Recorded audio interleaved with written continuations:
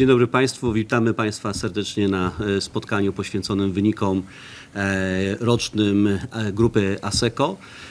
Na dzisiejszym spotkaniu tradycyjnie przedstawimy działalność naszej spółki za cały rok, również przedstawimy finanse. Na dzisiejszym spotkaniu również gościmy prezesa zarządu Adama Gurala, który opowie na temat perspektyw rozwoju grupy. E, Karolina Żońca, wiceprezes i e, szef finansów grupy również opowie o e, finansach i Marek Panek, wiceprezes zarządu opowie o działalności grupy. Dzisiejsze spotkanie mamy w dwóch językach. Mamy po polsku i po angielsku. Dla tych osób, które nas oglądają, jest prezentacja po angielsku i też będzie można zadawać pytania po angielsku. Cała prezentacja jest tłumaczona w tej chwili również na, na język angielski ale pytania można wysyłać po, po, po polsku i po angielsku. E, pierw zaczniemy od prezentacji naszej działalności, od podsumowania roku, a w drugiej części jesteśmy e, do Państwa dyspozycji, jeżeli chodzi o pytania i odpowiedzi, ale już można te pytania w trakcie wysyłać i później na nie będziemy próbować odpowiedzieć. Zaczynamy od e, prezesa zarządu, pana Adama Górala. Dzień dobry, witam Państwa. Bardzo się cieszę, że możemy być razem. Żałuję, że nie do końca prawdziwie razem, bo te, tęsknię dalej za tymi spotkaniami, kiedy siedzieliśmy sobie w jednej sali i dla nas, ludzi, którzy aktorami nie, nie są, było to łatwiejsze. Tym bardziej witam pojedynczych, pojedyncze osoby analityków, które podążyły za tym moim marzeniem i przynajmniej od czasu do czasu patrząc na nich będę mógł weryfikować, czy to, o czym mówię, jest zrozumiałe. Y, przychodzimy w bardzo dobrych nastrojach y, biznesowo. Oczywiście dla ludzi odpowiedzialnych dzisiaj, dojrzałych, y, to, to ciężko jest zaczynać od radości związanej z sukcesami biznesowymi, gdy patrzymy na świat. Wszyscy płacimy pewną cenę za wojnę w Ukrainie, myślimy o tym. Nasz kraj jest w szczególnym miejscu, więc przez całe lata żyliśmy w pokoju i, i, i, i wszyscy troszkę się niepokoimy, że ten pokój jest zagrożony. Płacimy wszyscy cenę za to, co się dzieje e, w Izraelu. Oczywiście e, mamy tam głównie przyjaciół i rozumieliśmy tę wojnę, rozumieliśmy początek, rozumieliśmy reakcję. Dzisiaj się jednak wszyscy martwimy, bo mamy świadomość, że giną e, ludzie zupełnie niewinni. No i cóż, życz, pewnie wszyscy, jak tutaj jesteśmy razem, również zdalnie, życzymy sobie, nam wszystkim pokoju. Zakładamy, że ten pokój będzie e, i dlatego mówię takim z dużym entuzjazmem, że moja wiara w nas, w ludzi, którzy w tej firmie e, działają, jest niesamowita, bo ta wiara jest potwierdzana przez to, co osiągamy.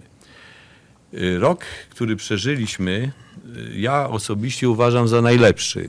Jak Państwo spojrzycie na wyniki, 16,9 miliarda przychody, EBITDA 2,5 miliarda, zysk operacyjny 1,6 miliarda polskich złotych, zysk netto 483, to ktoś mi może powiedzieć, no co tam nam mówisz, 483 to jest mniej niż 502.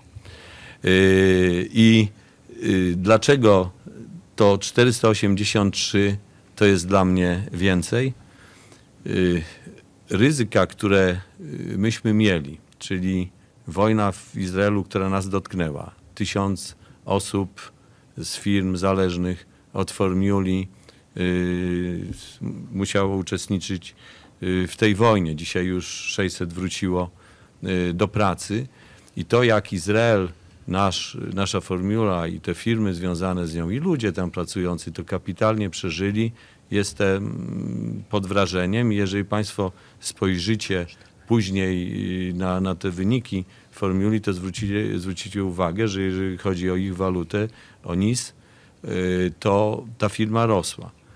Y, w dalszym ciągu nie byliśmy w stanie też na, e, rozruszać Słowacji, przywrócić e, Słowacji do tego okresu przed pandemią. Dzisiaj jesteśmy dużo większymi optymistami. Wydaje nam się, że, się, że, że ta informatyka dla governmentu, gdzie tam jesteśmy od governmentu uzależnieni, y, też y, na nowo stanie się bardzo ważna. Też patrzymy bardzo pozytywnie na Czechy. Biorąc pod uwagę właśnie te fakty, a to pięknie nam wyjaśni Karolina, bo Karolina precyzyjnie udowodni, że nie ma się mnie co dziwić, że uznaje ten poprzedni rok za rok najlepszy.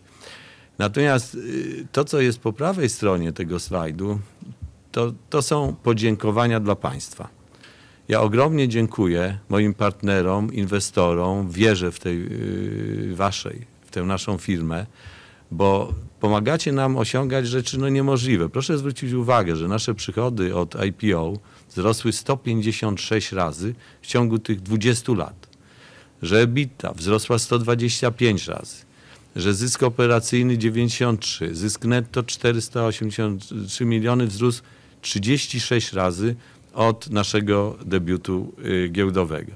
Cieszę się, że był taki pomysł, żeby to pokazać, nawet ten pomysł nie ode mnie y, pochodził, ale ta moja wdzięczność y, dla ludzi, którzy budowali rynek kapitałowy, którzy dbają oczywiście, dzisiaj musimy się zastanawiać nad, cieszymy się z tej wczorajszej już oficjalnej nominacji i z prezesa, który jest wychowankiem tego rynku i wierzymy, że zrobi dużo, żeby powalczyć o tę płynność naszej giełdy, bo to jest pewna słabość, której nie należy ukrywać i trzeba wymyślać. Ale będę zawsze powtarzał, że gdyby nie było polskiej giełdy, to taki jakiś Polak, góral Adam się pojawił i opowiada, że on pójdzie integrować firmy w Europie, to inne rynki nie dałyby na to pieniędzy. Państwo daliście, jestem przekonany, że nie zawiedliśmy, a tak wierzę też tę naszą przyszłość, zaraz to udowodnimy, bo to nie jest tylko wiara, ona jest poparta liczbami i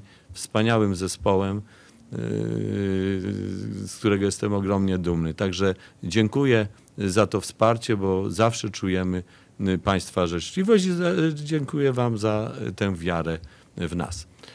Dlaczego ten sukces? Koncentracja na własnym oprogramowaniu i usługach, oprogramowaniu usługach dla kluczowych sektorów gospodarki. To jest 78 przychodów z oprogramowania i usług własnych. To jest świętość tej firmy. Też wykorzystanie eksperckiej wiedzy dziedzinowej i technologicznej. My naprawdę sprawdziliśmy się w najtrudniejszych czasach, bo to tak jak razem z niektórymi instytucjami godnie przeżywaliśmy bardzo trudny okres pandemiczny. To naprawdę było Mistrzostwo Świata, przepraszam za tę małą butę, ale myśmy realizowali projekty niemożliwe do, do realizacji. Moja duma y, z tej drużyny, która w relacji z państwem odpowiadała za, za funkcjonowanie naszego państwa, y, jest ogromna i proszę mi wierzyć, że ona jest w pełni uzasadniona.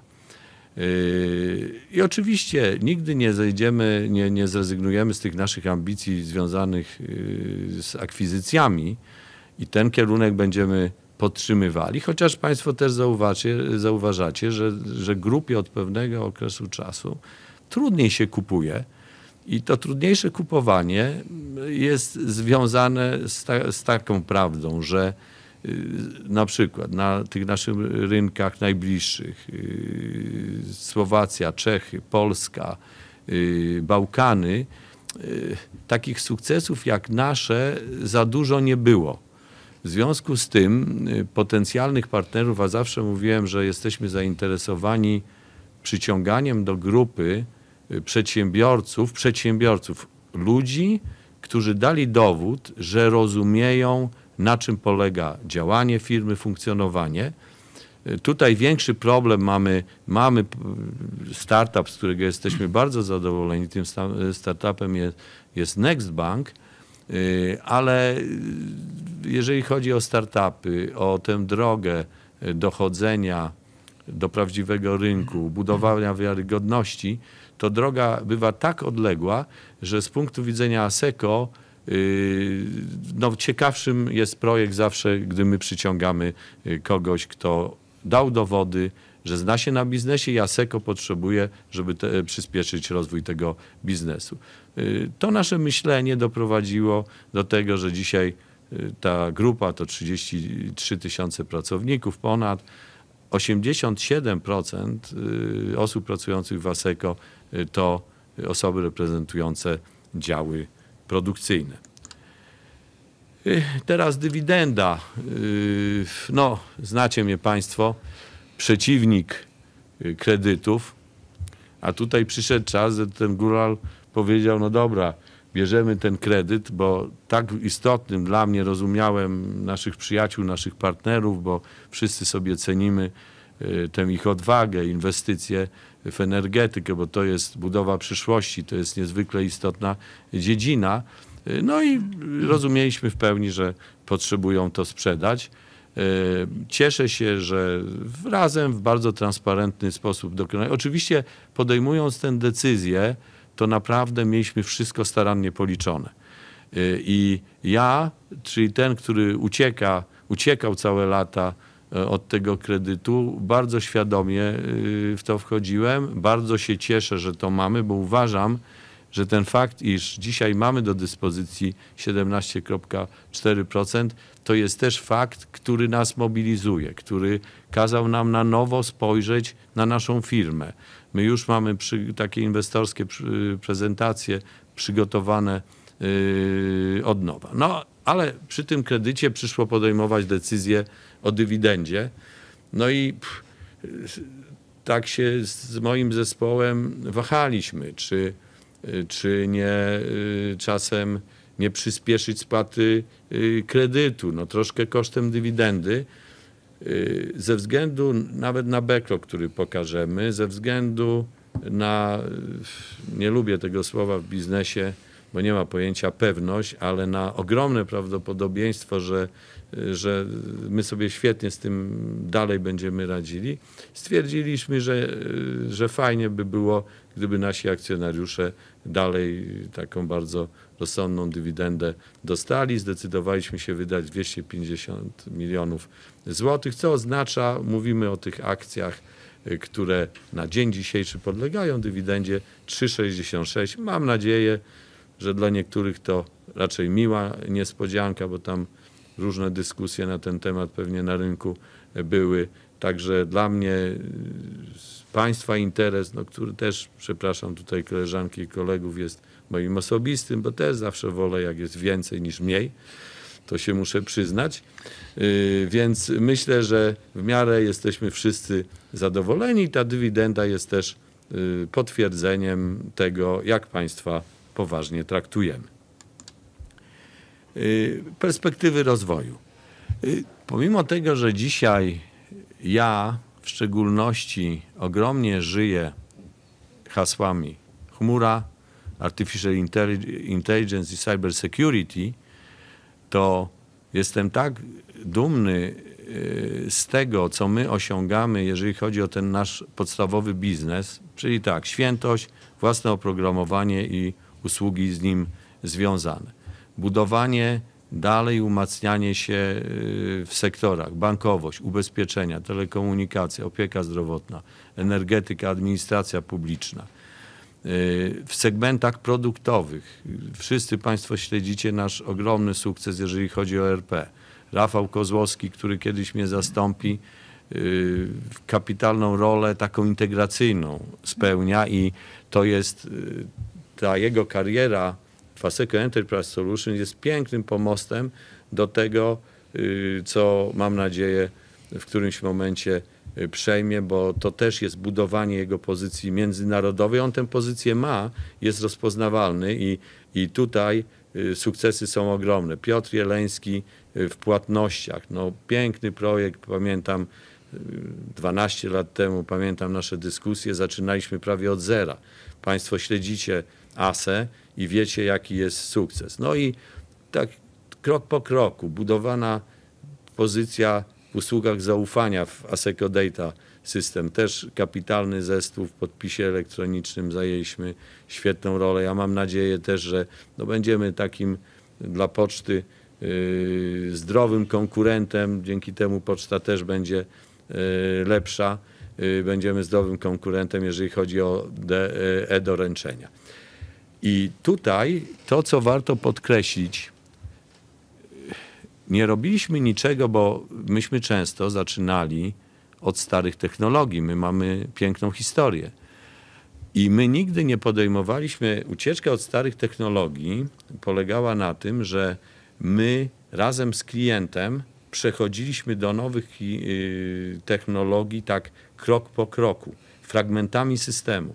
I myśmy od tych starych technologii uciekli.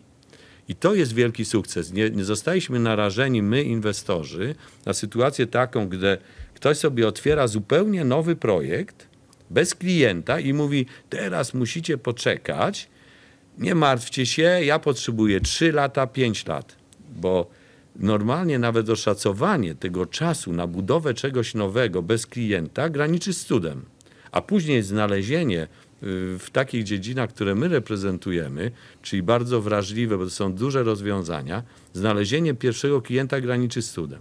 I proszę mi wierzyć, we wszystkich dziedzinach my już zapomnieliśmy o temacie, ale to była mądrość i wysiłek tych zespołów y, i takich merytorycznych, od wizjonerów począwszy, poprzez ludzi, którzy tę sferę y, produkcyjną obsługiwali. I to trzeba dalej utrzymywać. To jest wielka wartość. I te wartości sprawią i sprawiają, że my dokładnie wiemy y, i jesteśmy pewni, że zajmiemy i już zajmujemy bardzo godne miejsce y, w haśle chmura, że my też wypracujemy bardzo znaczącą pozycję, y, jeżeli chodzi o artificial intelligence i my też będziemy co najmniej jednym z liderów, mam ambicje, żeby wokół ASECO właśnie, y, żebyśmy mogli kiedyś powiedzieć, że jesteśmy liderami, jeżeli chodzi o cyberbezpieczeństwo. Zaraz to rozwinę. Jeżeli chodzi o y, strategię MNI-ową, y, no to dalej po, poszukujemy i to nie spoczniemy, Marek jest za to odpowiedzialny, zastanawiamy się, że, że w tym naszym myśleniu może popełniamy jakieś błędy, może czasem informacji nie mamy i jeżeli tak jest, to my, jeżeli mamy pewne słabości, y, to my je odkryjemy i my to poprawimy, no bo w dalszym ciągu poszukujemy firm, szczególnie y, które produkują, mają własne oprogramowanie, które umieją wdrażać to y, oprogramowanie, po to, żeby wzbogacać tę naszą ofertę. Także te ambicje będziemy dalej realizowali. Natomiast jeżeli chodzi o te dziedziny, które w 100% y, są już przyszłością, będą przyszłością, czyli chmura, no to tutaj osiągnięcia już mamy spore. Jak Państwo wiecie, nietypowa nasza strategia ASECO buduje swoją chmurę. Y, projekt ASECO Cloud w Polsce dobrze funkcjonujący.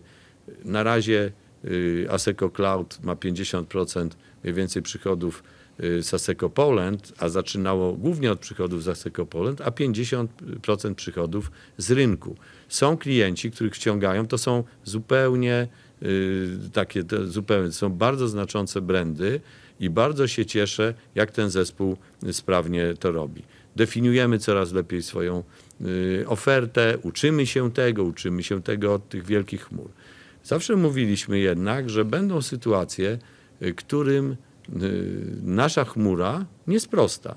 Taką sytuację mieliśmy w przypadku Allegro Pay, gdzie pik grudniowy sprawiał, że koszty infrastruktury na ten pik y, grudniowy podrażałyby y, naszą usługę, a to jest przecież model subskrypcyjny. No i jestem bardzo dumny z ubiegłorocznego projektu y, przeniesienia właśnie obsługi Allegro Pay do chmury oraklowej. Wspólny sukces, no, jesteśmy też wszyscy dumni, no Allegro to polska firma, Y, kapitalnie zbudowana i, i, i, współpraca z taką firmą to dla nas y, przyjemność i, i dowód z ich strony takiego pewnego y, szacunku. Kapitalnie zrealizowany projekt w chmurze Google'owej, jeżeli chodzi o karty debetowe w PKO BP. Wspólny sukces PKO BP też jako jeden z pierwszych polskich banków pokazuje drogę, nie obawiało się tego projektu uświadomiło wszystkim, jaką rolę będzie, będą rozwiązania chmurowe. Y, też y, duży sukces. Teraz też jesteśmy blisko realizacji y, kolejnej partii, jeżeli chodzi o karty kredytowe i, i mam nadzieję, że gdzieś tam na wakacjach ukończymy następny projekt. Także z tej współpracy i, i z dobrych relacji z tymi potężnymi chmurami też się bardzo cieszę. Cieszę się, że mamy ludzi przygotowanych do tego. Y, Jeżeli chodzi o cloud, Józef Klein jako lider, czyli ACE, y, też realizuje projekt analogiczny. Zespoły są, y, czyli buduje y, Słowacja, Czechy, y, właśnie taką chmurę. Piotr Jeleński jeszcze nie zaczął, ale zacznie, tylko też nie chcemy odwracać uwagi, tam są tak wielkie sukcesy, więc a to troszeczkę jest takiego zamieszania w firmie, że musimy tę decyzję podjąć we właściwym momencie, więc nie wywieram na Piotra jeszcze takiej presji, ale marzy mi się, że kiedyś połączenie tych cloudów w tych różnych miejscach to będzie, nazwijmy to mikro chmura europejska, bo to, że Europejczycy nie mają ambicji zbudowania chmury, to jest błąd. Z całym szacunkiem dla tych potężnych chmur publicznych, ale my, Europejczycy, powinniśmy e, mieć taką chmurę i my, asekowcy, pokazujemy, że w mikroskali będziemy umieli to zrobić i to będzie porządna firma, dobrze e, zarabiająca. Dziedzina chyba wszyscy krok po kroku będziemy pasjonatami artificial intelligence. Pewnie wśród nas, y, czyli Państwa obserwujących nas i tych osób, które są ze mną na sali, nie ma osoby, która nie docenia wagi tego tematu. Y, Dla mnie artificial intelligence jest dziedziną rozwijaną kilkadziesiąt lat. To nie jest żadne zaskoczenie. Natomiast to, że nastąpiło przyspieszenie, że pojawiły się dzisiaj konkrety, to jest dla mnie też oczywiste.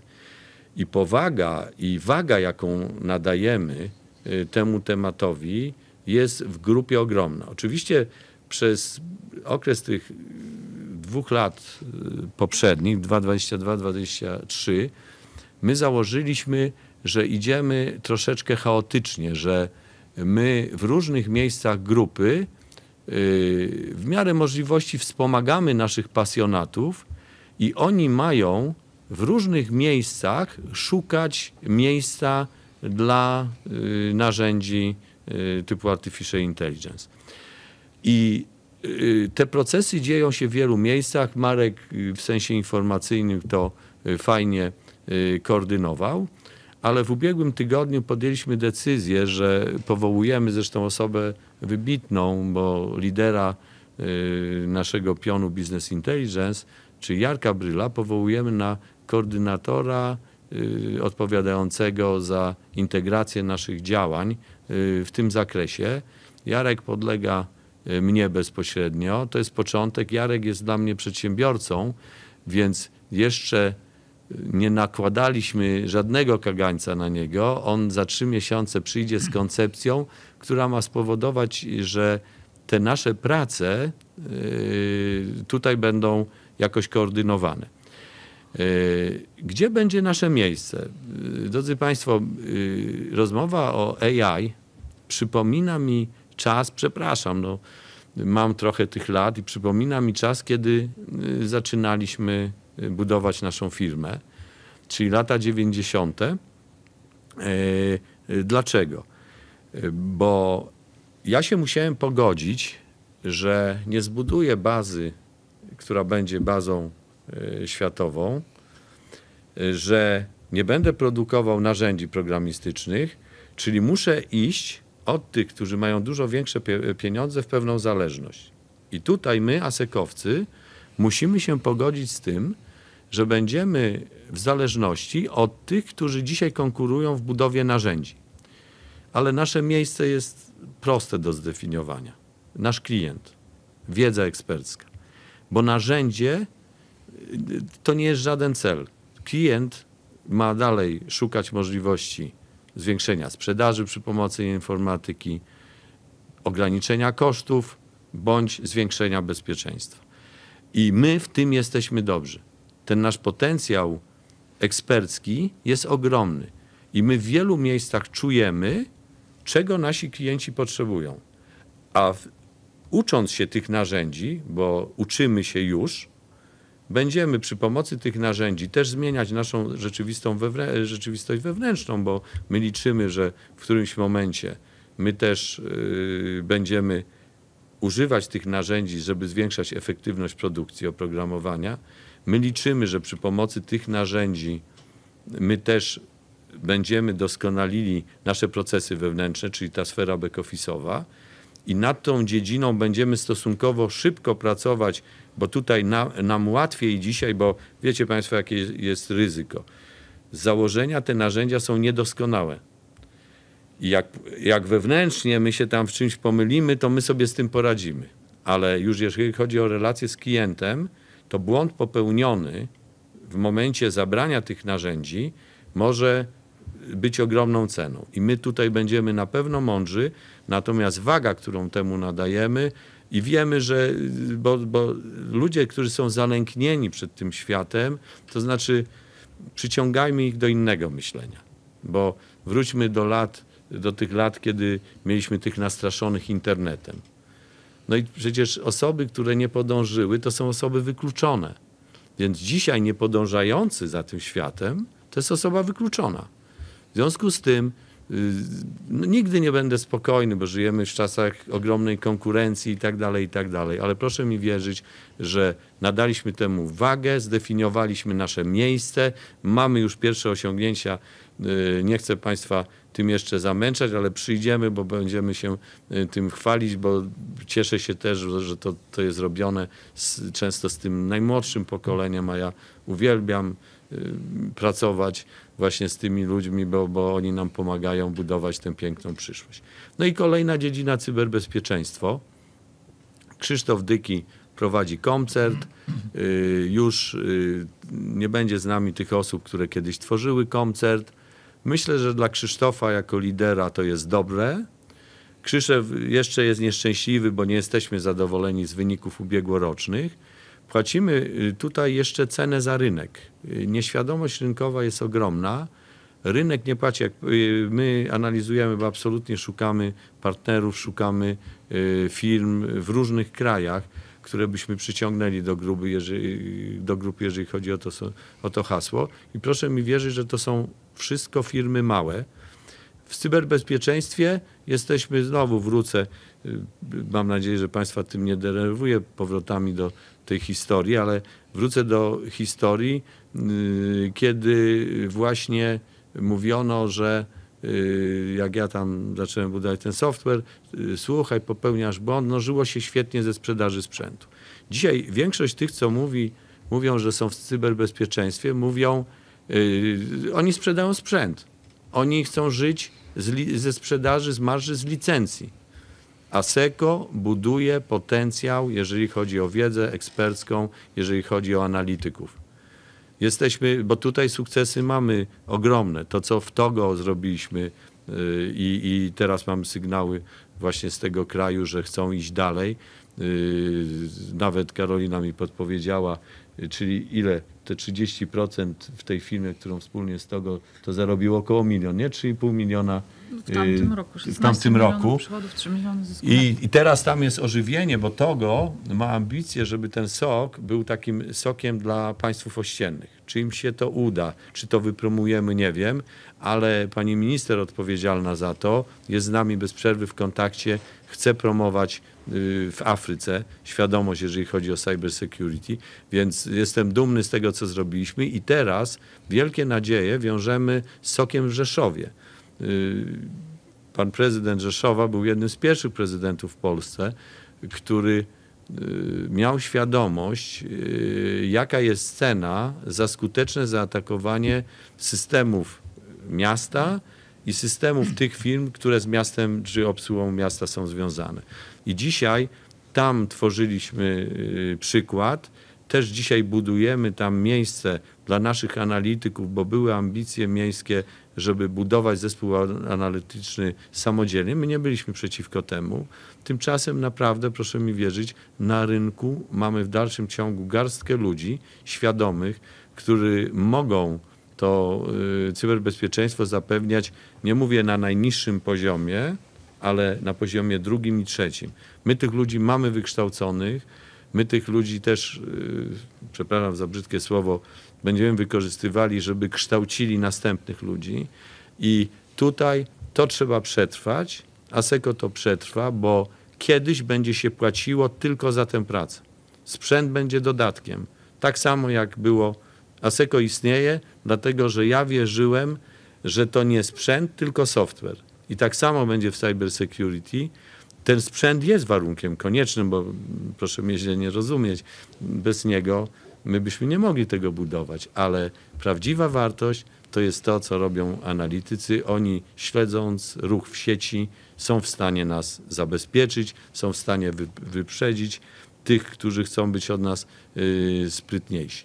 No i to, moi drodzy, to jest to, czym my żyjemy, czym ja żyję. Oddam głos teraz yy, Markowi, a później Karolina nas przeprowadzi pięknie przez liczby i udowodni to, że w tym moje, że 483 jest więcej niż 502.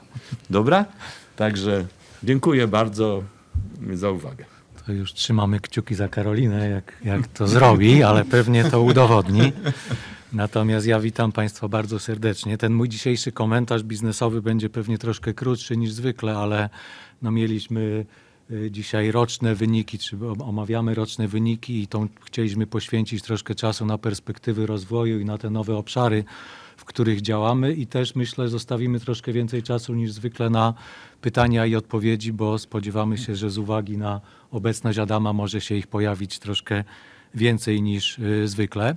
A prawda jest taka, że w, tych, w, tych, mm, w tym komentarzu biznesowym pewnie nie będzie wielu różnic w stosunku do tego, o czym, o czym mówiliśmy przez trzy kwartały, bo właściwie te trendy, które tam obserwowaliśmy, były widoczne również w czwartym kwartale, może z dokładnością do tego, że mieliśmy nietypowe, ważne, smutne wydarzenie w Izraelu w postaci wybuchu wojny i to oczywiście jakiś tam wpływ na ten nasz biznes w grupie izraelskiej y, miało.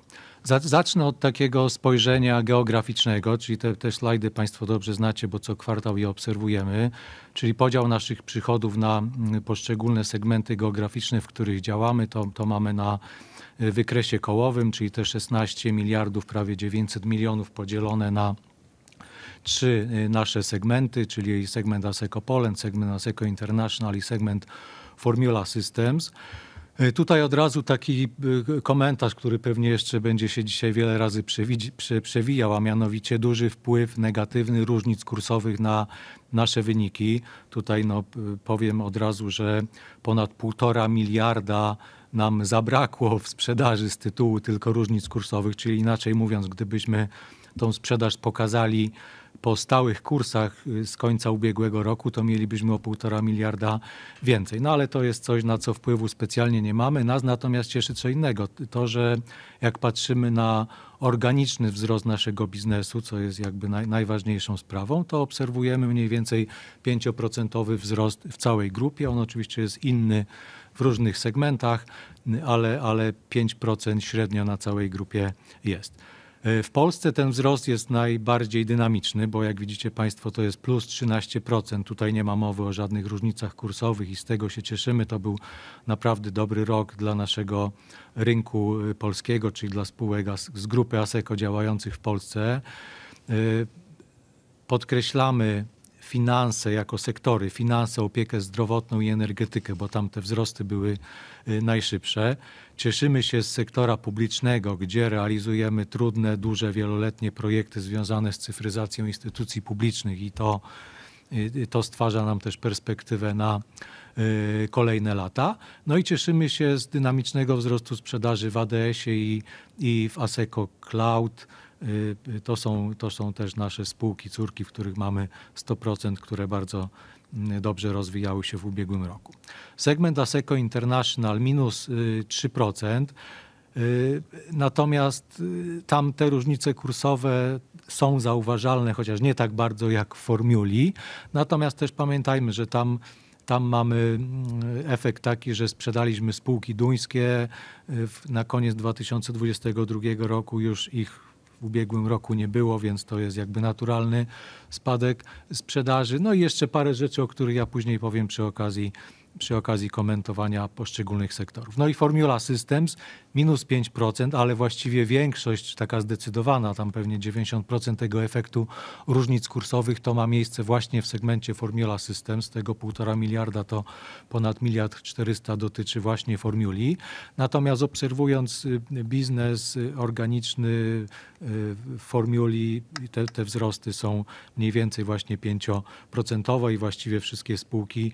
W ogóle Formula miała najlepszy rok w historii, bo, bo jak patrzymy na wszystkie pozycje rachunku wyników, w tych ich oryginalnych walutach, to tam y, są wszędzie wzrosty i można być zadowolonym y, z tego, co tam się działo. No, y, zwłaszcza jak weźmiemy pod uwagę czwarty kwartał i początek października i wojnę, która się tam zaczęła i te tysiąc osób, które poszły do armii, gdzie większość tych osób to były osoby biorące udział w projektach i to w, natural, w naturalny sposób wpłynęło w jakiś sposób na, na biznes i spowodowało jakąś taką niepewność. Natomiast no to pomału jakby wraca do normy z punktu widzenia biznesowego i, i, i, tam jest coraz więcej projektów, nawet, nawet projektów właśnie związanych troszeczkę z obronnością, które nam, które nam się pojawiły w czwartym kwartale. Podkreślamy i przypominamy o naszej dywersyfikacji, czyli, czyli, podział przychodów na poszczególne sektory, w których działamy przedsiębiorstwa, finanse i bankowość instytucje publiczne. Nie chcę tutaj tych procentów omawiać, natomiast to jest od lat nasza siła. Tak? My jesteśmy dobrze zdywersyfikowani, zarówno sektorowo, jak i geograficznie. Nie zależymy od jakichś pojedynczych klientów i, i to z tego zawsze się cieszymy, no bo to sprawia, że nawet jak przez chwilę w jakimś miejscu jest trudniej, mamy jakieś nietypowe wydarzenia, jakieś spadki, to jesteśmy w stanie to nadrobić y, w innych miejscach i to jest, to jest właśnie siła ASECO. Y, przechodząc do poszczególnych sektorów, w których działamy, zaczniemy od bankowości i finansów. Tutaj na grupie mamy y, praktycznie podobną sprzedaż jak w ubiegłym roku, y, ponad 5 miliardów 700 milionów złotych. Największym kontrybutorem jest Formula, Formula minus 3%, ale pamiętajmy o tych różnicach kursowych, więc gdyby je jakby odjąć, to mamy tutaj oczywiście wzrosty. Y, bardzo się cieszymy z tego, co robi Sapiens, bo Sapiens zanotował takie mocne kilkunastoprocentowe wzrosty y, sprzedaży.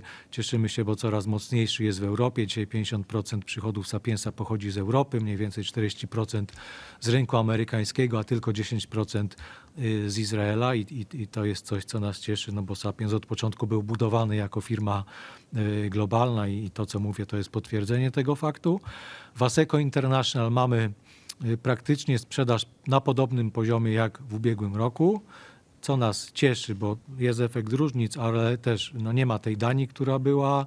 Y, bardzo dobrze radzi sobie ta część ASECO Southeastern Europe, y, zwłaszcza w tym segmencie właśnie związanym z rozwiązaniami bankowymi. Tam też pamiętajmy, że kończyliśmy takie duże projekty wdrożenia systemów korowych w tamtym roku, więc to były takie, no, nie chcę powiedzieć one-offowe, ale takie ekstra y, przychody y, w ubiegłym roku. O tym też musimy pamiętać.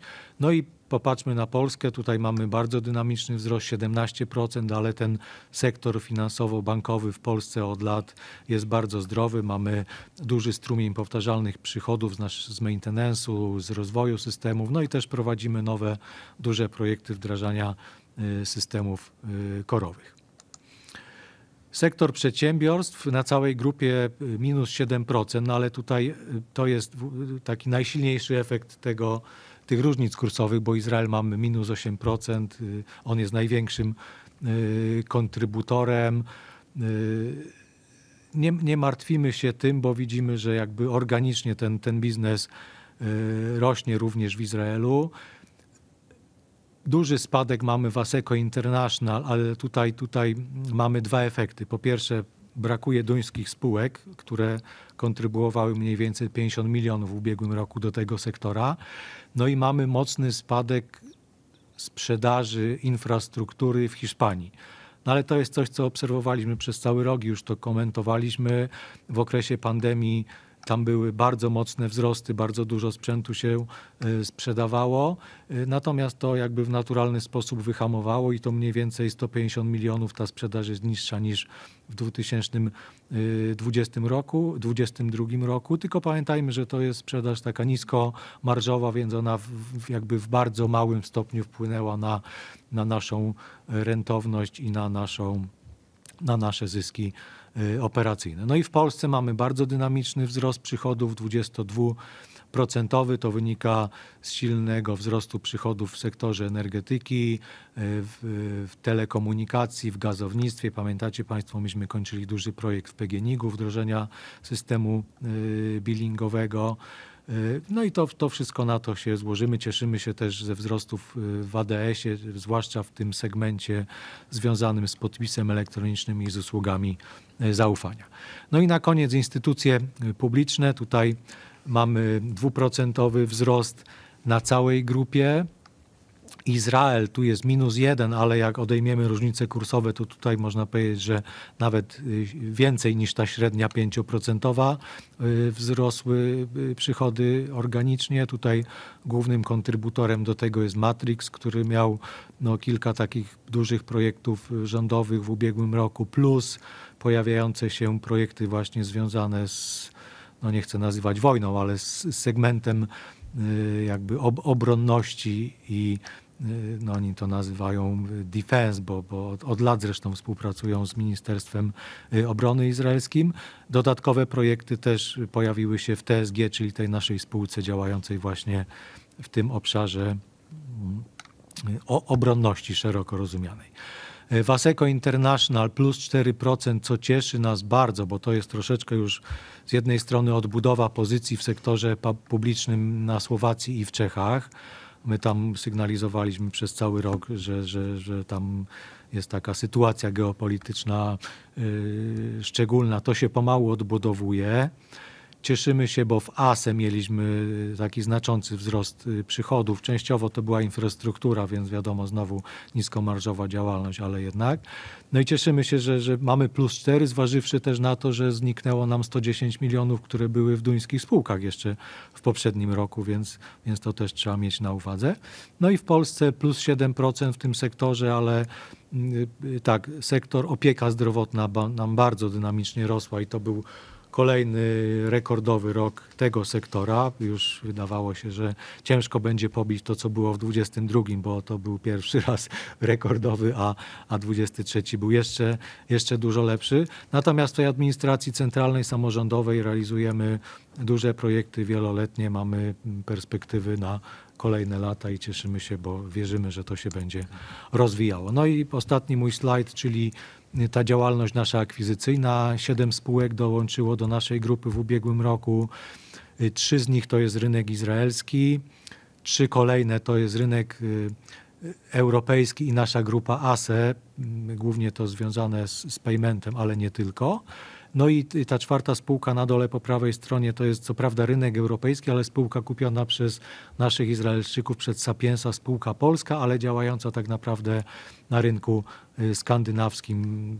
To jest jakby przyczółek, czy kolejna spółka, która będzie pomagała rozwijać biznes w tej części Europy, w której to y, Sapiens jest coraz bardziej aktywny. Zresztą po akwizycji kiedyś takiej spółki TIA, bardzo znaczącej w Danii, to my tą Skandynawię jakoś bardzo, bardzo mocno eksplorujemy właśnie w sektorze ubezpieczeń.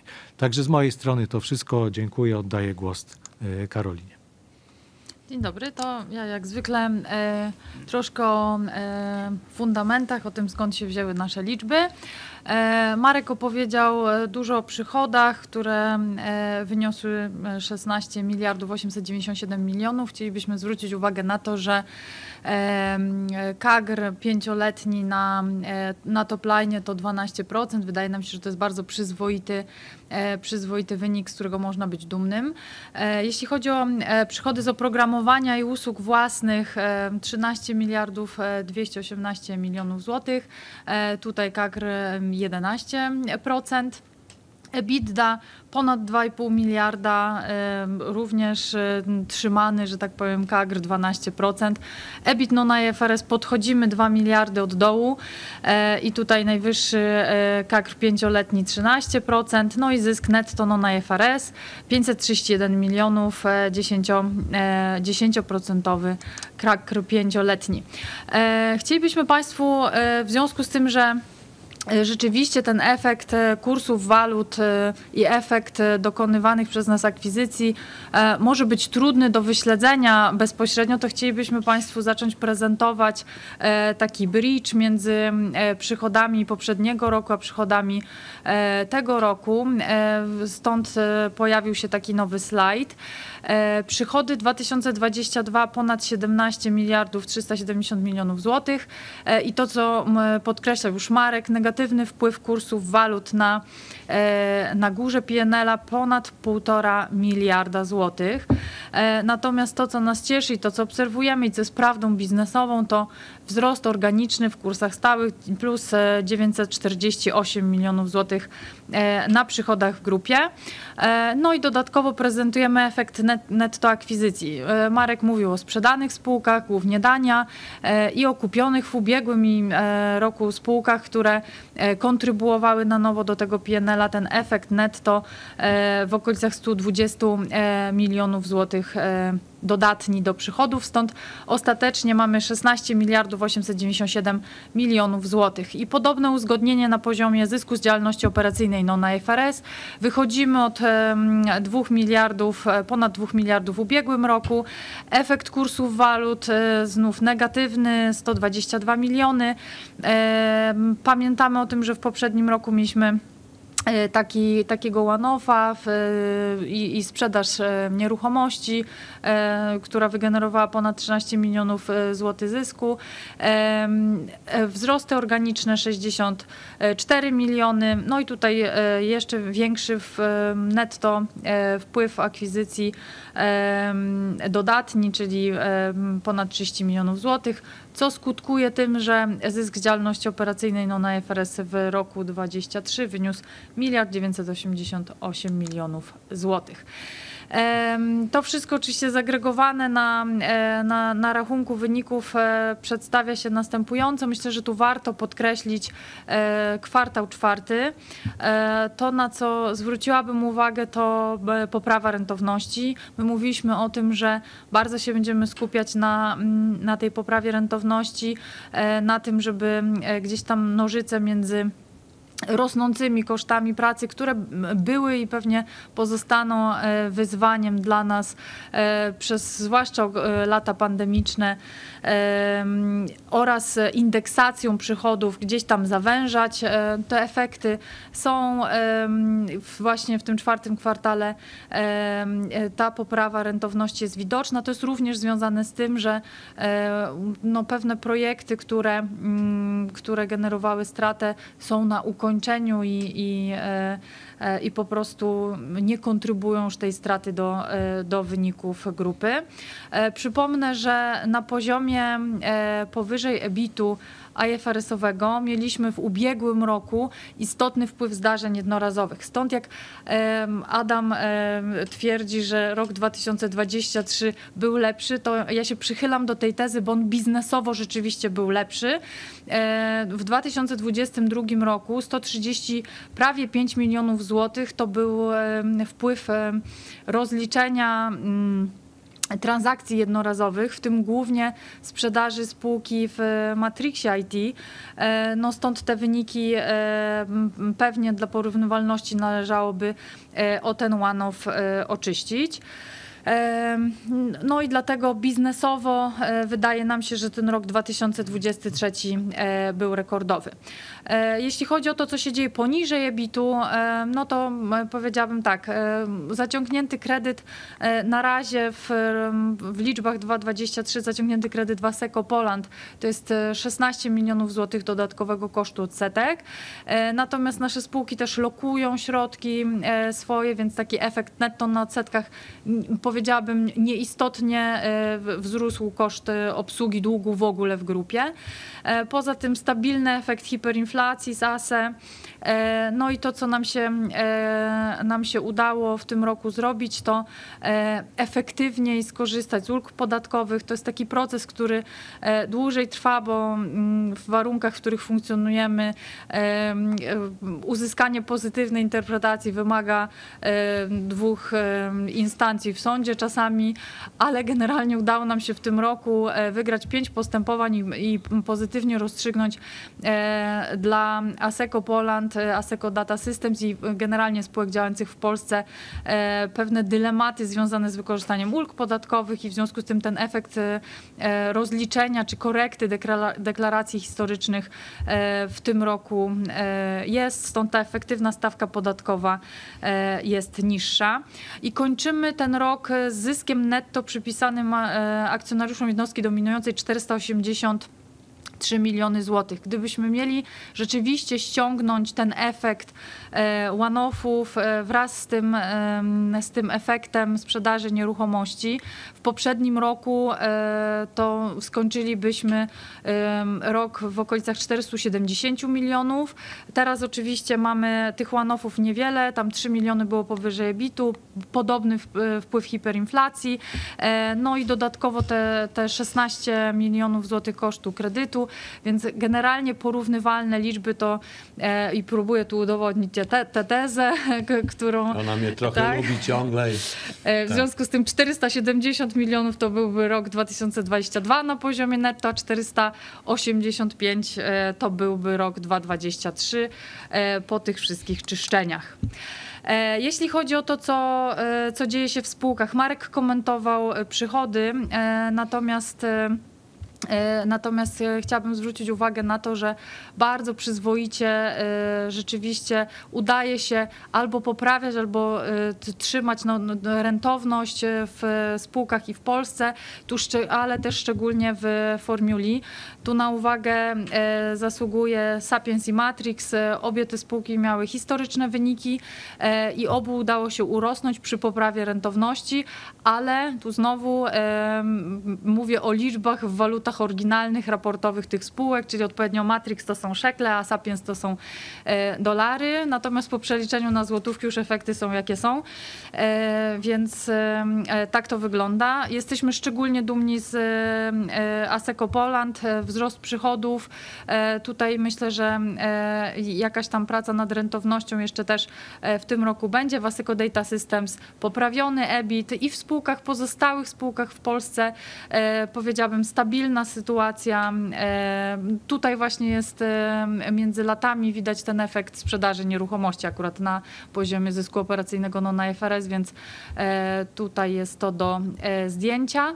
Jeśli chodzi o segment rynku Aseco International w ogóle i tutaj myślę, że dużo pytań już gdzieś tam w tle dostawaliśmy a propos rynku środkowoeuropejskiego, to rzeczywiście lepszy biznesowo czwarty kwartał e, w samych operacjach, tu głównie w Czechach. My skończyliśmy e, taką trudną fazę w tym dużym projekcie, który, e, który dowoziliśmy na, na stracie, o tym mówiliśmy w projekcie ESL, w związku z tym rzeczywiście dużo lepszy kwartał, czwarty do kwartału czwartego w Czechach.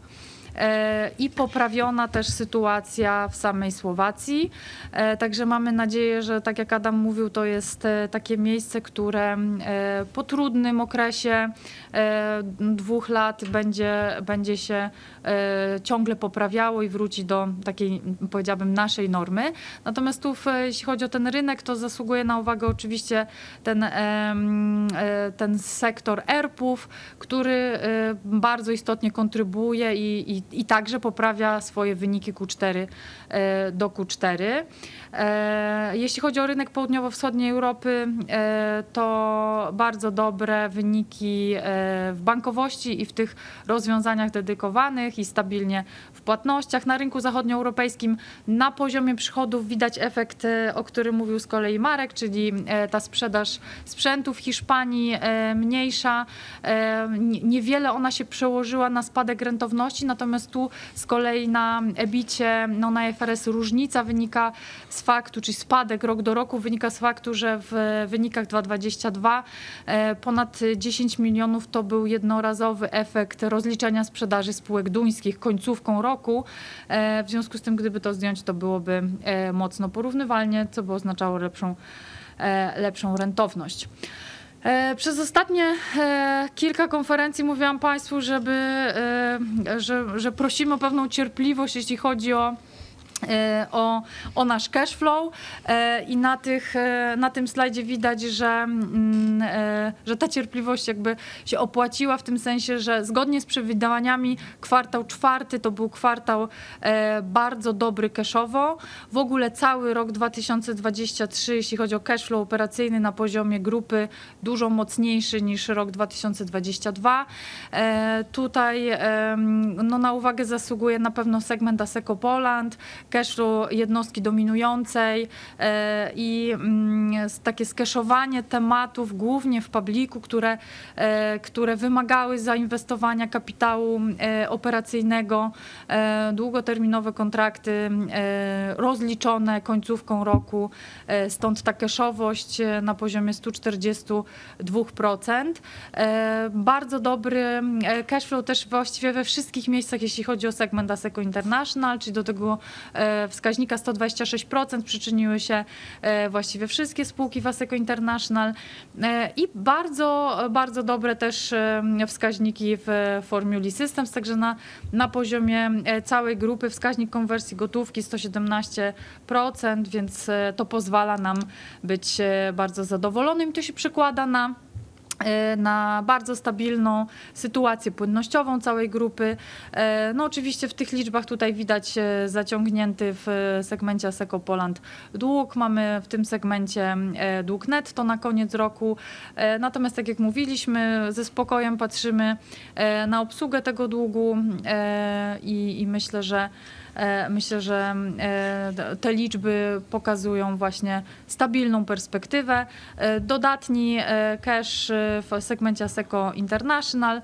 E, No i taki powiedziałabym standardowy, zgodny z, z oczekiwaniami e, dług netto w segmencie Formuli, też zupełnie bezpieczny, obsługiwany e, na bieżąco. Państwo wracali do nas często z taką prośbą o to, żeby próbować pokazywać naszą grupę troszkę z innej też perspektywy i, i prezentować takie ujęcie proporcjonalne, więc adresując tę prośbę, mm, będziemy Państwu pokazywać e, nasze liczby w tym ujęciu e, proporcjonalnym od samej góry PNL-a. E, No dół wiadomo, że, że jest proporcjonalny już w sensie wyniku netto. Em, I chciałabym Państwu e, zaprezentować e, te liczby, e, biorąc pod uwagę efektywny procent e, w każdej z posiadanych i konsolidowanych e, spółek. E, Wyglądają te liczby następująco. Przychody ze sprzedaży to jest e, blisko 6 miliardów złotych. I tutaj, tak jak mówię, mnożymy te przychody efektywnym procentem, czyli dajmy na to, mamy formułę, w której w holdingu mamy 25%, e, o, formula z kolei w Matrixie ma tych procent y, 40 tam 7, no więc efektywny procent jest w okolicach 11 i, e, i efekt takiego przemnożenia na sam dół struktury grupy e, tutaj jest zaprezentowany. EBITDA no na IFRS 906 milionów, e, no tutaj mm, lepsza rentowność przy tych proporcjonalnych liczbach, zysk z działalności operacyjnej no na IFRS 682 em, e, i rentowność 11,5%. půl procenta. I zysk działalności operacyjnej IFRS-owy 600, prawie 18 e, milionów złotych. Postaramy się w tym e, ujęciu te liczby już na stałe e, Państwu pokazywać. No i żeby już dopełnić obrazek tego proporcjonalnego ujęcia i jakiegoś tam szacowania e, m, wartości całej naszej grupy, będziemy też prezentować cash netto, dług netto w podziale na segmenty i tutaj mamy ten obrazek na poziomie proporcjonalnie konsolidowanej grupy gotówka netto, e, a właściwie dług netto to 516 milionów złotych i pochodzi on w niewielkiej części z formuli, no a w znaczącej części segmentu Aseco Poland, w którym konsolidujemy właściwie większość, e, większość spółek e, prawie w 100%.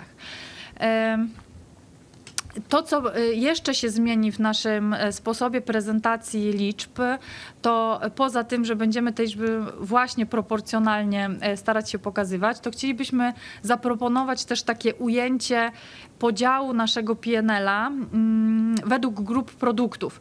E, Po to też, żeby można było łatwiej odnieść to, co się dzieje u nas do trendów rynkowych, tak jak podają e, ogólnodostępne raporty. Dlatego podzieliliśmy nasze wyniki e, już nie tylko na segmenty geograficzne, ale na grupy produktów. I pokazaliśmy tutaj w tym ujęciu proporcjonalne liczby dla grup produktów, które e, zdefiniowaliśmy w ten sposób, że pokazujemy rozwiązania dla finansów i w tym obszarze mieszczą się rozwiązania dla bankowości, e, dla ubezpieczeń, e, dla szeroko pojętego rynku kapitałowego i tutaj mieści się cały Payments ASE. E, No i oczywiście jest ten jeszcze podział poniżej na e, segmenty geograficzne, żeby można było to sobie jakoś tam pouzgadniać. E, Drugim, drugą grupą produktową będą rozwiązania ERP i tutaj znowu, tutaj tak naprawdę Mamy głównie ten e, sektor RRP, który dzisiaj jest e, pokazywany w e, segmencie AC, ale też te, te rozwiązania ERP-owe, które mamy na przykład w ADS-ie oraz część rozwiązań z formuli, które, które z, dotyczą tego, te, tych produktów. Następnie trzecia grupa to są rozwiązania dla instytucji publicznych i tutaj pewnie intuicja podpowiadałaby, że to jest to samo co sektor instytucji publicznych i to jest prawda. E, Natomiast dodaliśmy tutaj e, wszystkie rozwiązania dotyczące mm, energetyki, dlatego że to e, na koniec jest bardzo podobny model biznesowy. To jest PZP, to są zazwyczaj umowy fix price'owe plus, plus jakiś maintenance. Generalnie powiedziałabym, że reżim prawny podobny. W Polsce akurat no to jest, nasi klienci to, to na koniec dnia są dość mocno zależni od, e, od, tego wszystkiego, od czego zależny jest cały public. Stąd uznaliśmy, że, e, że ma sens e, dorzucenie energetyki do, e, do tego właśnie miejsca. Natomiast w pozostałych rozwiązaniach IT będzie podpis elektroniczny, będą rozwiązania dla telekomunikacji, czyli generalnie wszystko to, co nie zmieściło się w kategoriach powyżej. Natomiast z tych przychodów wyłączyliśmy komponenty związane z prostą odsprzedażą infrastruktury i ewentualnie licencji obcych. No po to też, żeby można było łatwiej dyskutować o e, rentowności poszczególnych, e, poszczególnych e, grup produktowych. Wiadomo, że na tej odsprzedaży infrastruktury to nie jest nasza korowa działalność, raczej komplementarna do pozostałych i ona marżowość ma średnio dużo niższą niż te cztery grupy powyżej. Jeśli chodzi o to, dlaczego patrzymy z optymizmem w przyszłość, to myślę, że ten slajd wyjaśnia e, ten nasz optymizm. E, Jeśli chodzi o nasz backlog w kursach stałych, to e, rok do roku backlog rośnie e, 14%. Rośnie we wszystkich, e, we wszystkich trzech segmentach. W segmencie Aseco Poland 11%. Tutaj głównym kontrybutorem jest Public. W segmencie Aseco International 13%, w segmencie Formuli Systems 15%. I to jest taki biznesowy obraz. Oczywiście w kursach zmiennych no ten efekt tutaj też widać, e, tej wzmocnionej złotówki e, i ten efekt jest troszkę, e, troszkę mniejszy, natomiast mówię, biznesowa prawda to kursy, to kursy stałe. Na ten moment chyba wszystko ode mnie. Bardzo dziękuję. Ba, bardzo dziękuję Karolinie Adamowi i, i, i dla Marka. Teraz przejdziemy do, do pytań, ale y, pierw zacznę od tego, że nie słychać na sali, ale y, dostałaś oklaski. Y, dziękujemy za proporcjonalne ujęcie, bardzo pomocnicze w analizie. Także w Właśnie momencie- miałem, miałem tak, e, tak, zapytać. tak. Bardzo, bardzo, I bardzo wiecie, ładnie. moi drodzy, to jest konsekwencja tego, że mamy te akcje własne, bo my musieliśmy na nowo spojrzeć, także ja wiedziałem, że to będzie dla nas mobilizujące, ale cieszę się, że jest taka ocena. Fajnie. Po, po tych oklaskach przechodzimy teraz do trudniejszych pytań, e, żeby na wszystkie odpowiedzieć. E, Paweł Szpigel, mBank. Czy wyniki, środko, e, czy wyniki rynku środkowoeuropejskiego w czwartym kwartale 2023, czyli ponad 90 milionów PLN na EBICie, można uznać za powtarzalny? Czy zdarzyły się, to, się też jakieś zdarzenia jednorazowe, jak na przykład rozwiązanie rezerw? I drugie pytanie, prośba o guidelines na rentowność zysku operacyjnego w spółce matce. E, To tak, jeśli chodzi o samo Q4, e, to tak jak powiedziałam, to, to, jest, rzeczywiście obraz poprawiającego się biznesu. Natomiast e, w samym Q4 e, pojawił się tam efekt z rozwiązania rezerw. On nie był jakoś bardzo istotny, w okolicach 4 milionów złotych. Natomiast ten dobry ten dobry wynik y, AC to tak naprawdę jest wynik pofakturowania pewnych tematów, które były wstrzymane ze względu na trudną sytuację polityczną y, na Słowacji. Ym, I tak bym odpowiedziała na to pytanie. I drugie, a propos. Drugie było prośba o guidelines na rentowność zysku operacyjnego w spółce matce. Jeśli chodzi o spółkę matkę, to myślę, że tak. Przede wszystkim to guideline'u na przyszłość nie dajemy, natomiast to, co możemy e, powiedzieć, to to, że no, mocno pracujemy nad rentownością i takie wyzwania, powiedzmy, w budżecie sobie postawiliśmy, żeby starać się tę rentowność e, poprawiać. To jest trochę trudniejsze pytanie w tym samym zakresie. Czy w 2024 rentowność EBITDA grupy może być istotnie wspierana przez wzrost aktywności związany z zastosowaniem narzędzi AI?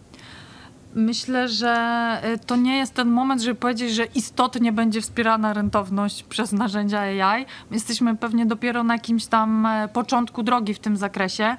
E, Bardzo nasze piony biznesowe myślą o tym, żeby AI wykorzystywać przy e, produkcji oprogramowania, przy testowaniu itd., itd.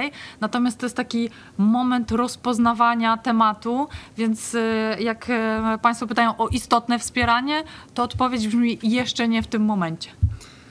E, Kolejne pytanie. Mocny free cash flow w czwartym kwartale 2023 był spowodowany dużym wpływem gotówki z kapitału obrotowego. Czy ten czynnik może się znacząco odwrócić w 2024 roku? Raczej nie. To znaczy, wydaje się, że e, a właściwie wiemy to, że myśmy mieli słaby cashflow w poprzednich latach i to jest raczej efekt catch-upu, nadgonienia e, niż efekt przedpłat. Jak oceniacie e, obecną i w perspektywie najbliższego roku presję płacową na polskim rynku IT? Czy widzicie zwiększoną podaż pracowników na rynku związaną ze zwolnieniami u konkurencji? Wydaje się, że ta presja płacowa troszkę zelżała i to widać w e, procesie rekrutacji, gdzie e, nasze HR e, generalnie mówią, że relatywnie łatwiej jest pozyskać pracowników, wypełnić te wakaty. My jesteśmy rzeczywiście spółką, która pewnie jako jedna z niewielu zatrudniała ludzi i to zatrudnienie wzrosło rok do roku, ponieważ mamy nowe kontrakty i rzeczywiście ten proces pozyskania ludzi jest troszkę łatwiejszy, co nie oznacza, że jest łatwy. E, Rok do roku wynagrodzenie średnie e, w segmencie Asseco Poland jeszcze urosło e, i to urosło w okolicach 10%. To było zgodne z przewidywaniem naszym budżetowym. W związku z tym wydaje się, że to, te, to tempo wzrostów jest niższe, ale wzrosty nadal są i pozyskanie prawdziwych ekspertów, na, którym, na których nam zależy, to nadal jest na rynku polskim wyzwanie. Kolejne pytanie. W których obszarach biznesowych, produktowych widzicie swoją szansę w pozyskaniu kontraktów w ramach środków z KPO? Kiedy realnie spodziewacie się przyspieszenia w ogłaszaniu przetargów?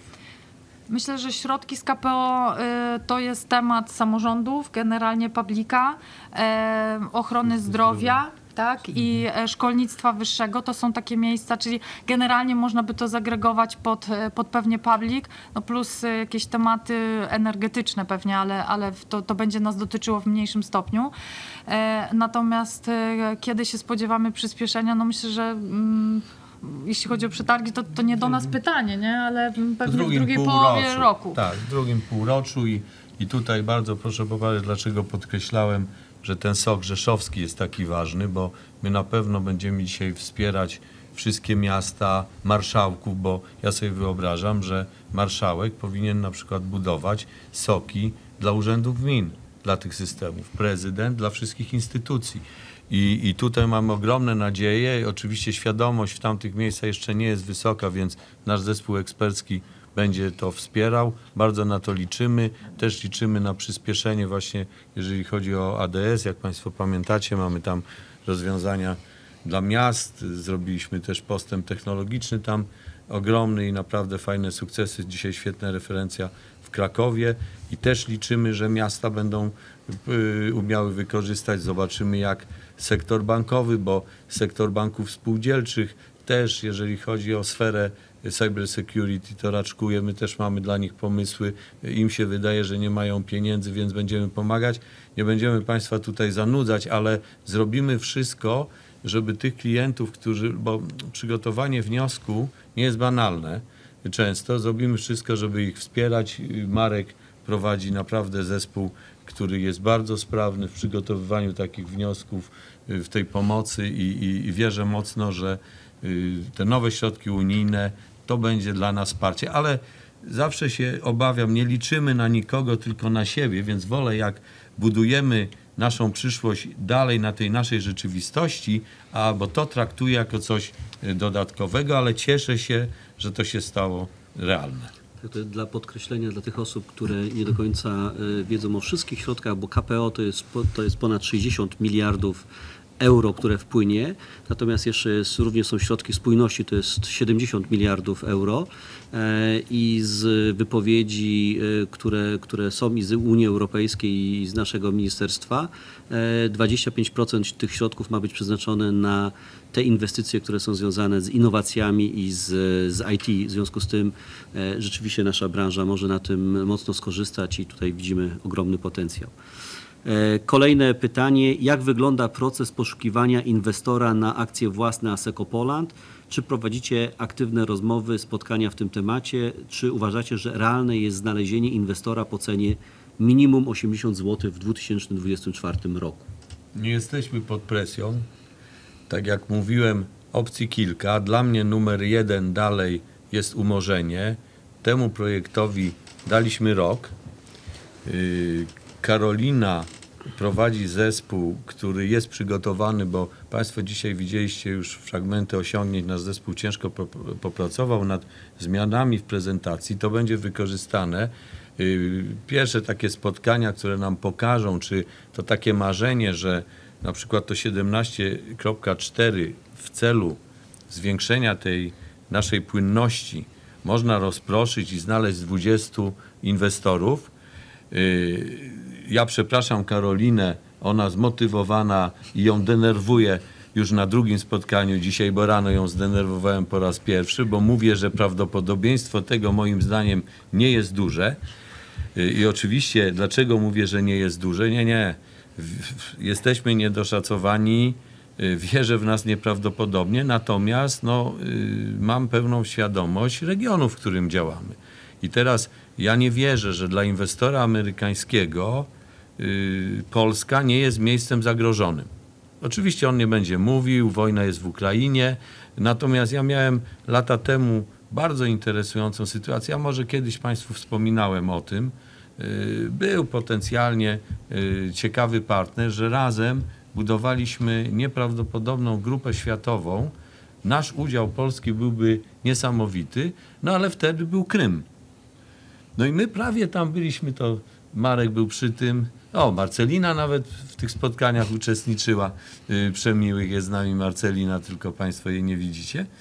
Yy, I my prawie się dogadaliśmy tak wstępnie, oczywiście droga byłaby jeszcze daleka.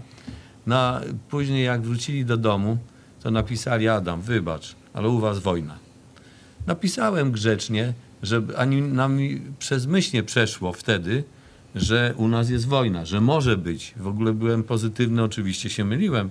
Dzisiaj po tylu latach możemy stwierdzić, bo jednak to, to była inicjacja czegoś, a, a Ukraina jest pewną y, kontynuacją y, tego. Także y, przepraszam, ale my, moja drużyna chce mi udowodnić, że nie mam racji i się będę cieszył, jak mi udowodni. Oczywiście nie wykluczamy również czegoś takiego, bo taki świat, ten, który troszkę nami się interesuje, ma świadomość, że dzisiaj zarząd y, dysponuje 17 kro- tymi akcjami 17,4%. Y, I to jest fajny pakiet, bo Asseco jest y, trudne do kupienia, bo sam kupowałem, więc no, musiało to ileś trwać. czy coś, więc ta płynność jest naszą, naszą słabością, jak wielu polskich firm notowanych y, na giełdzie. Y, Także ja nie wykluczam, y, że jakieś rozmowy będziemy prowadzili z kimś, kto przyjdzie i powie tak, słuchaj, bardzo mnie ten pakiet interesuje, gdybyśmy razem działali, to ja też mogę coś dodać, bo rynki i tu na przykład my na zachodzie, pomimo tego, że mamy kapitalny sukces, jeżeli chodzi o RP i Niemcy, mamy wielki sukces, oczywiście w pewnej skali, jeżeli chodzi o y, naszą portugalską firmę i, i, i w ogóle współpracę z Polską, bo to przecież fenomenalna inwestycja. Y, Tak nam się z tymi ludźmi współpracuje, oni tam ze Zbyszkiem Pomiankiem, czyli dzisiaj są bardzo blisko, no bo my byliśmy trochę bardziej innowacyjni i, i, i tutaj najbardziej wierzymy, że, że to będzie, że oni też y, dodadzą impulsu do tych wielkich osiągnięć y, produktowych y, w Polsce. Infrastruktura u nas była, jak Państwo pamiętacie, przypadkowo i tutaj się pomyliłem, bo ja po cichu liczyłem w tej Hiszpanii, że oni nas zaprowadzą z naszym softwarem do niektórych banków, bo sprzedawali do banków sprzęt i się pomyliłem, bo w bankach kto inny kupuje y, software, y, kto inny sprzęt, więc ona jest czymś takim nietypowym, ale szanujemy y, ten zespół ogromnie. I teraz, jeżeli pojawi się partner, w którym ta, przy pomocy którego ta polskość będzie utrzymana i nasza rola i zwiększyłby nasze y, szanse takie rynkowe, właśnie szczególnie na zachodzie, to dla nas takie rozmowy będą interesujące. Czyli te trzy wątki będziemy prowadzili, Państwa będziemy na pewno transparentnie informowali. Dzisiaj cieszę się bardzo, że się przygotowaliśmy do tego, żeby nas na nowo promować, że troszkę innym językiem będziemy nas pomagać, że ja nie rozumiałem nigdy Państwa słów, dlaczego mówicie, że my jesteśmy skomplikowani. I tutaj dlatego już robiliśmy te segmenty, czyli Polska, czyli ASECO International, czyli y, Formula, żeby sobie mówić, że to upraszczamy. Z drugiej strony, bo dla, dlaczego nie rozumiałem? Dlatego, że mi proszę, proszę mi wierzyć, że ta niby skomplikowana struktura jest naszą wielką wartością. Yy, dlatego, że to, że te akcje są porozpraszane, powoduje, że my jesteśmy pilnowani przez wiele miejsc. Gdy akcje są w jednym miejscu, to ja nie lubię takich sytuacji, że y, u nas ktoś jest wynagradzany nienależnie, czyli on sam ma porażkę.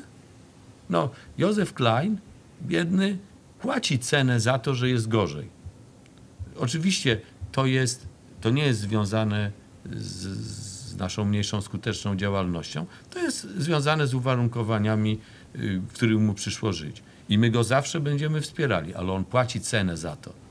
Gdyby on, on był na górze w Aseco Poland, on dalej miałby, świetnie by zarabiał, dużo lepiej, więc dla mnie utrzymywanie tej niby skomplikowanej struktury to jest przyciąganie dużo większej grupy ludzi do tego, żebyśmy byli skuteczni tak jak dotychczas. Prawda? No i dlatego żartuję sobie, że nie rozumiem, jak Państwo czasem mówicie, że my jesteśmy skomplikowani, ale zespołowi Karoliny tutaj jestem bardzo wdzięczny, że robimy wszystko, żebyście Państwo jeszcze lepiej nas rozumieli. Bardzo dziękuję.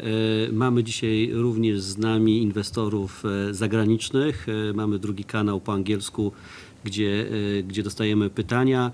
Po pierwsze, dziękujemy za dołączenie niektórych inwestorów tak wcześnie rano ze Stanów Zjednoczonych, bo wiemy, że też tacy z nami są. I po pierwsze, również gratulacje i podziękowania za First, thank you for presenting proportional figures, very helpful. E, także to, to pierwsza, pierwsza informacja z zagranicy. A teraz przejdziemy do pytań. Can you comment, uh, further clarify uh, on the current demand environment? Given your organic revenue growth was about 5%, but your backlog at the fixed rate rates for proprietary software is growing 14%, uh, it is reasonable to conclude that demand is accelerating. Uh, I uh, second questions, what is your outlook for 2004 and what would you anticipate as a sus- sustain- sustainable organic growth to be over the midterm? Ja. E, po Po, polsku. po polsku, bo mamy tłumaczenie. Mhm, Dobra. E, To tak, rzeczywiście e, ten backlog e, rośnie szybciej niż, niż to, co pokazaliśmy e, w zaraportowanych liczbach. Natomiast pamiętajmy, że znowu zaraportowane liczby są w kursach zmiennych.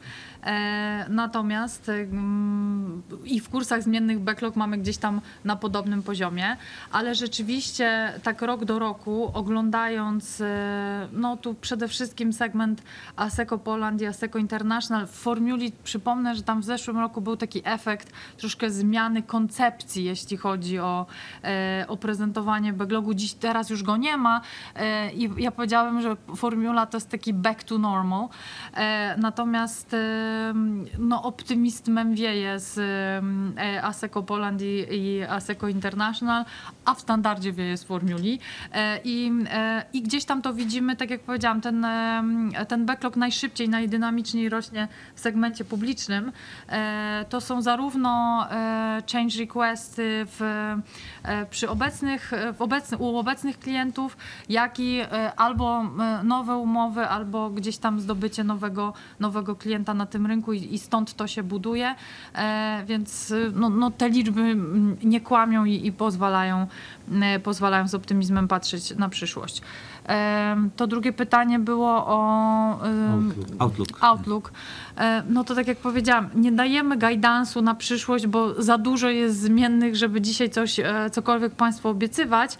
E, Natomiast zarówno backlog, jak i determinacja e, naszych ludzi i jakieś powiedzmy takie perspektywy na tym rynku pracy, że rzeczywiście ta presja e, troszkę spada i łatwiej nam e, pozyskać ludzi, po- pozwala nam gdzieś tam stawiać sobie e, cele, jeśli chodzi o poprawę wyników w przyszłym roku, natomiast, czy w tym roku właściwie.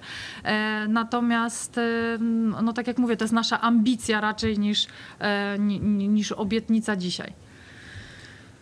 Ambicją dla nas jest zawsze rosnąć i dzisiaj właśnie dlatego robiłem wszystko, żebyśmy udowodnili, że 483 jest większe niż 502. I mam nadzieję, że Karolina zrobiła to dosyć skutecznie. I kolejne pytanie już bardziej takie z podwórka polskiego. Jak oceniacie, czy zmiana we władzach ZUS e, może zmienić proces rozpisywania kontraktów w tej instytucji? Nie, no tutaj, drodzy Państwo, przetargi, pełna transparentność. Mamy konkurenta, który bardzo pozytywną rolę odegrał. Mam ogromny szacunek dla zespołu Komarchu, ale jak Państwo tak y, spojrzycie z pewnej perspektywy, no to myśmy y, tę konkurencję troszkę wygrali. Dlaczego? Bo mamy świetnych ludzi. Ludzi po pierwsze świetnie przygotowanych, merytorycznych, ludzi lojalnych, więc y, ja wierzę, że ZUS ze względu na powagę y, tej instytucji będzie dalej bardzo mądrze zarządzany y,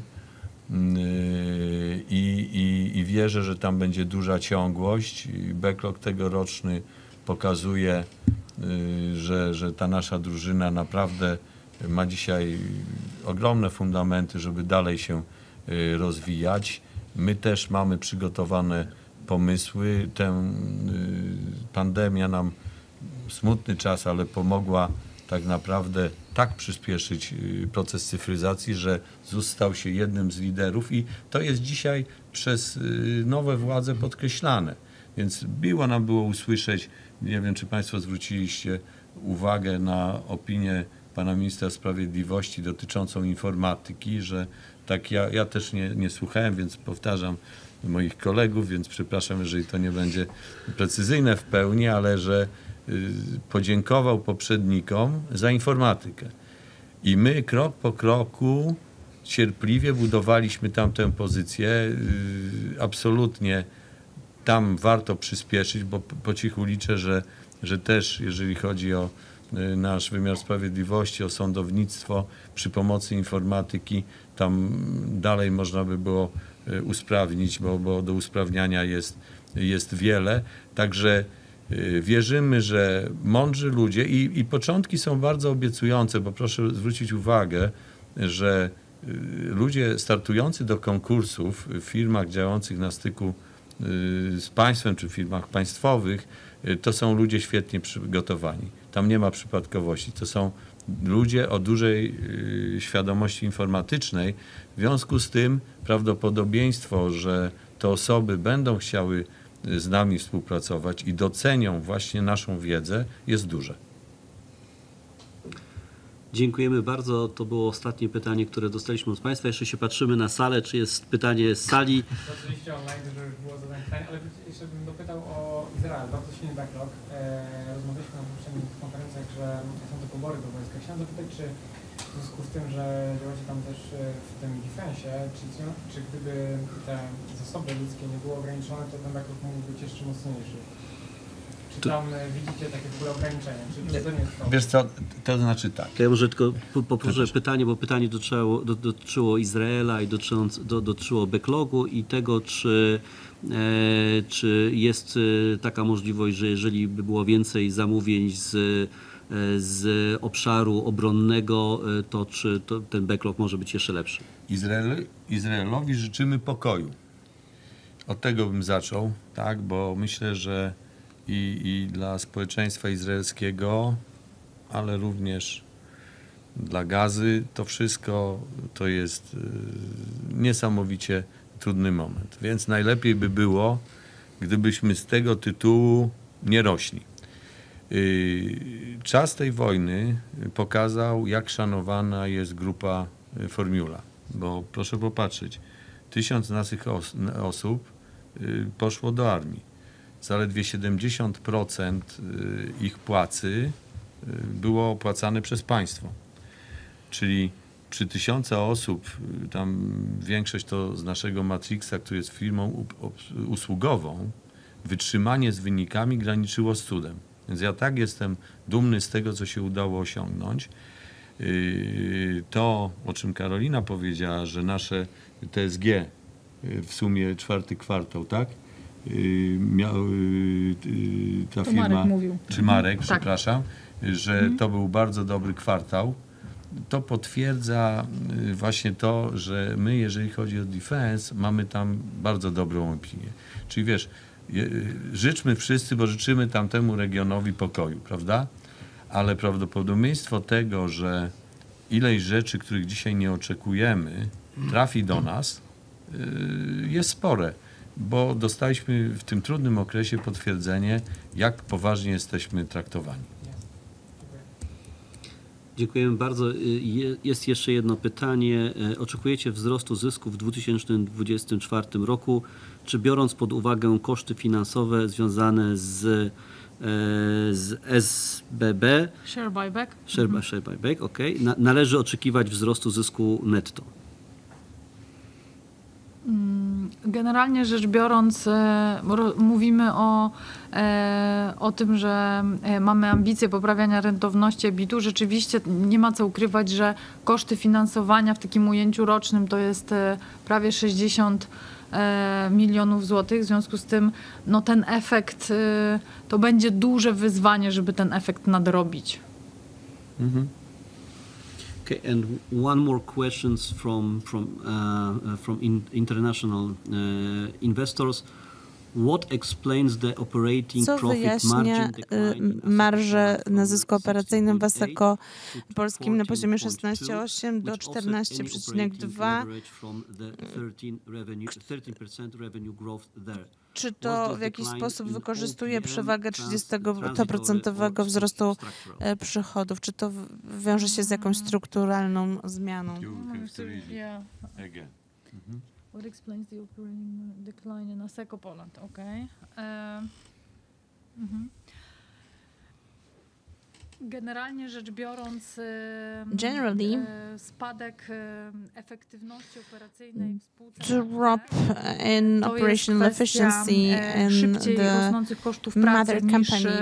e, niż nam się oryginalnie wydawało i takiego efektu dopiero nadrabiania e, po stronie przychodów, jeśli chodzi o indeksację umów, to jest jakby jeden efekt, a drugi efekt to jest taki efekt spadku, bo największy ten spadek rentowności to jest spadek na, e, na publiku, e, akurat nie dotyczący healthcare'a, ale ale tego, te, te, tej części publika, która dotyczy właśnie e, instytucji centralnych.